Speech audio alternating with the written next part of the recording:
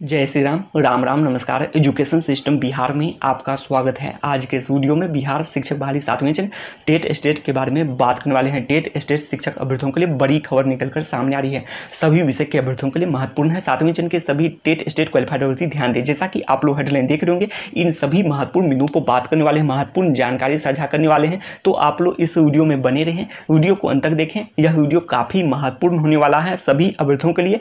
अच्छी खबर सेवंथ फिर C S S S T सभी विषय के अभ्यर्थियों के लिए, माध्यमिक एवं उच्च माध्यमिक शिक्षक अभ्यर्थियों के लिए खुशखबरी सातवें चरण का शेड्यूल 15 अगस्त से। तो सातवें चरण का शेड्यूल 15 अगस्त या फिर इसके बाद जारी होने की पूरी संभावना है। इससे पहले जुलाई के अंत में छठे चरण की प्रक्रिया पूरी हो जाएगी, नियुक्ति पत्र वितरण के साथ ही। उसके बाद रिक्तियों का आकलन होगा, फेस रोस्टर रोस्टर क्लियरेंस होने के बाद 15 अगस्त के बाद सातवें चरण का शेड्यूल माध्यमिक, उच्च माध्यमिक शिक्षक अभ्यर्थियों के लिए देखने को मिल सकता है। और आवेदन की प्रक्रिया की बात करें तो आप लोग उम्मीद रख सकते हैं, सितंबर महीने में आवेदन करने का मौका मिल सकेगा माध्यमिक उच्च माध्यमिक शिक्षक अभ्यर्थियों को। और प्राइमरी के लिए हो सकता है तो अगस्त में ही मौका मिल जाए आवेदन करने का। तो यही जानकारी है। अब आगे देख लेते हैं, आप लोग जो देख रहे होंगे। हाँ पिछले वीडियो में बातें की हैं। 24 घंटे के अंदर में रिक्ति मांगी गई थी। तो विभिन्न ज़िले से लगातार रिक्ति मांगे जा रहे हैं। तो आप लोग उम्मीद रख सकते हैं कि सितंबर महीने में आवेदन करने का मौका मिल सकता है। माध्यमिक उच्च माध्यमिक शिक्षक अभ्यर्थियों को खुशखबरी देखने को मिल सकती है। अब आगे देख रहे होंगे आप लोग R T I R T I कुल स्वीकृत पद तैंतालीस हज़ार आठ सौ इक्कीस, फोर्टी थ्री। तो तैंतालीस हज़ार आठ सौ इक्कीस आर टी आई में दिया गया है कि कुल स्वीकृत पद उच्च माध्यमिक के लिए और आप लोग जबकि शिक्षा विभाग का जो लेटर है, तैंतीस नौ सोलह पद के लिए जो स्वीकृत पद हैं, उसमें जो लेटर जारी हुआ था और उसी में ज़िक्र किया गया है उनचास हज़ार तीन सौ इकसठ उच्च माध्यमिक शिक्षक के पद हैं। तो ये जानकारी है, जबकि स्वीकृत पद आप लोग यहाँ पर जो आर में देख रहे होंगे, तैंतालीस हज़ार हैं, जबकि यह भी जो शिक्षा विभाग का लेटर है, वो भी मई दो हज़ार बीस का ही है मतलब बहुत दिन पहले का ही लेटर है, वो भी।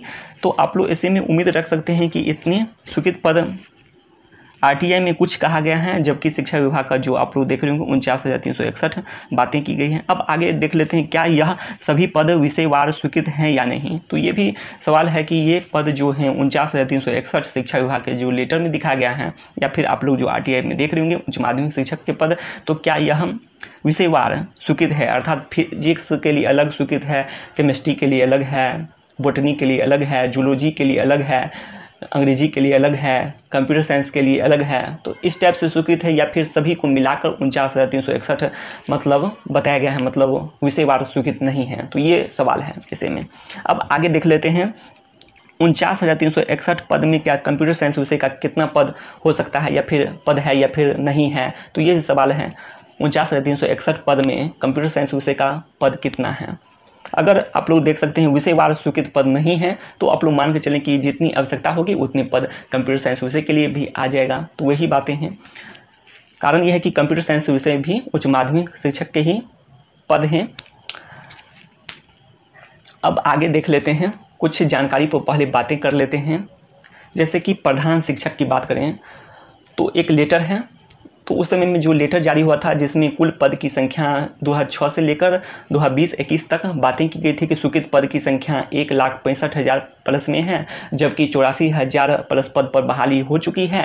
बात करें प्राइमरी के लिए, प्राइमरी शिक्षक के लिए, और प्राइमरी का जो अस्सी हज़ार शेष पद हैं, उसमें से चालीस हज़ार पाँच सौ अठारह पद प्रधान शिक्षक के पद हो जाएँगे। अर्थात आप लोग ऐसे समझ सकते हैं कि हैं पद प्राइमरी शिक्षक के, लेकिन उसी में से चालीस हज़ार पाँच सौ अठारह पद प्रधान शिक्षक के लिए हो जाएँगे।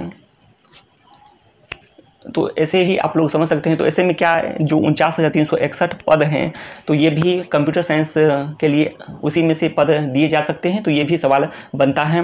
कारण ये है कि वेतनमान की बात करें तो वेतनमान तो उच्च माध्यमिक शिक्षक का सभी का सेम ही होता है। तो वही बात है, जबकि प्रधान शिक्षक में तो वेतनमान में भी अंतर है।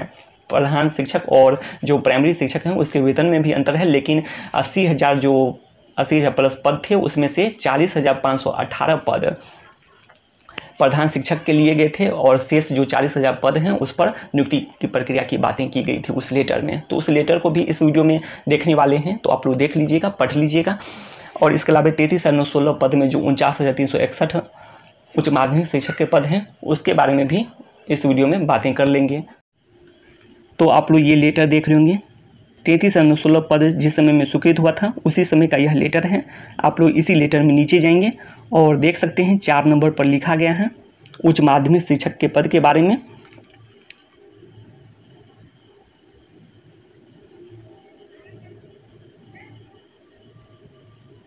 तो आप लोग यहाँ पर देख रहे होंगे वर्तमान में संचालित उच्च माध्यमिक विद्यालयों एवं भविष्य में संचालित होने वाले उच्च माध्यमिक विद्यालयों के लिए सृजित पद के अंतर्गत कुल उनचास हज़ार तीन सौ इकसठ उच्च माध्यमिक शिक्षक के पद की बातें की गई है। इसमें आप लोग देख रहे होंगे चार नंबर पर। तो इसमें यह भी ज़िक्र किया गया है कि वर्तमान में जो संचालित उच्च माध्यमिक विद्यालय हैं एवं भविष्य में संचालित होने वाले हैं, जैसे कि चौंसठ सौ इक्कीस नव स्थापित एवं उत्क्रमित उच्च माध्यमिक विद्यालय हैं। तो ये सभी की बातें कर दी गई हैं। के लिए सृजित पद के अंतर्गत उनचास हज़ार तीन सौ इकसठ पद की बातें की गई हैं। तो इससे स्पष्ट होता है। तो इसके लिए आप लोग जान सकते हैं कि विषयवार पद नहीं भी हो सकता है। तो इसे भी आप लोग समझ सकते हैं, जो फिजिक्स के लिए या फिर इसके लिए।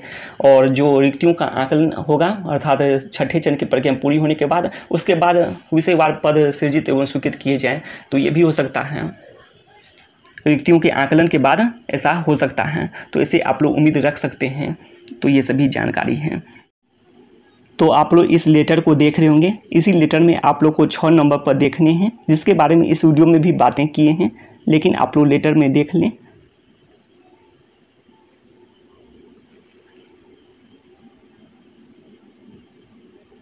आप लोग ये देख रहे होंगे छः नंबर पे। और यहाँ से आप लोग पढ़ सकते हैं।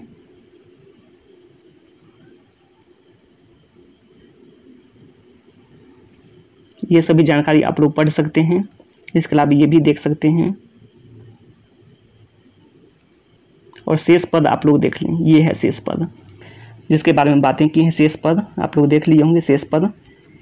और इसी में से प्रधान शिक्षक के पद की भी बातें कर दी गई हैं।